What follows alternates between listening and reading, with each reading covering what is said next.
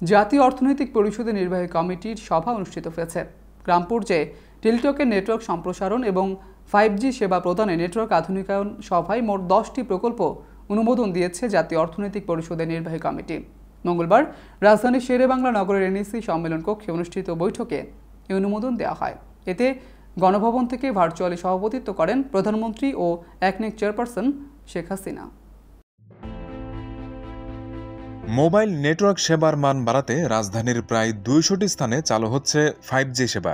মঙ্গলবার জাতীয় অর্থনৈতিক পরিষদের নির্বাহী কমিটির বৈঠকের পর পরিকল্পনা কমিশনের ভৌত এবং অবকাঠামো বিভাগের সদস্য মামুন আল রশিদ এই কথা জানান। এই নেটওয়ার্ক সম্প্রসারণ প্রকল্পের ব্যয় ধরা হয়েছে দুই হাজার দুইশো চার কোটি উনচল্লিশ লাখ টাকা। অনুমোদিত দশটি প্রকল্প বাস্তবায়নে ব্যয় হবে সাত হাজার নশো পঁচাশি কোটি একান্ন লাখ টাকা। এর মধ্যে সরকারি তহবিল থেকে ছয় হাজার ছশো ষাট কোটি উনতিরিশ লাখ টাকা, বাস্তবায়নকারী সংস্থা থেকে একশো সাঁত্রিশ কোটি নয় লাখ টাকা এবং বৈদেশিক ঋণ থেকে এক হাজার একশো আটাশি কোটি টাকা ব্যয় করা হবে। বৈঠক শেষে সাংবাদিকদের ব্রিফিং করেন পরিকল্পনা মন্ত্রী এম এ মান্নান এবং পরিকল্পনা প্রতিমন্ত্রী ড শামসুল আলম। ব্রিফিংয়ে জানানো হয়, প্রকল্পটি চলতি বছর থেকে শুরু হয়ে দু হাজার তেইশ সালের ডিসেম্বরের মধ্যে বাস্তবায়ন হবে।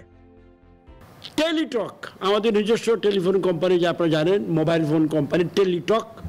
সেই টেলিটকের শক্তি বৃদ্ধি করার জন্য তাকে কিছু আমরা ইঞ্জেকশন দিচ্ছি।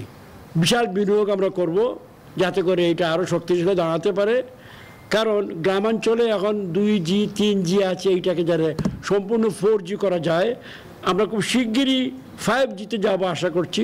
প্রকল্পের আওতায় নতুন তিন হাজার বিটিএস সাইট তৈরি করা রুম টাওয়ার লক ইত্যাদি নির্মাণ করা হবে।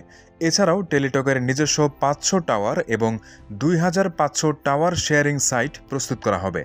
আর সেবা সক্ষমতা বাড়াতে থ্রি ও ফোর জির বিদ্যমান দুই হাজার সাইটের যন্ত্রপাতির ধারণ ক্ষমতা বাড়ানো হবে।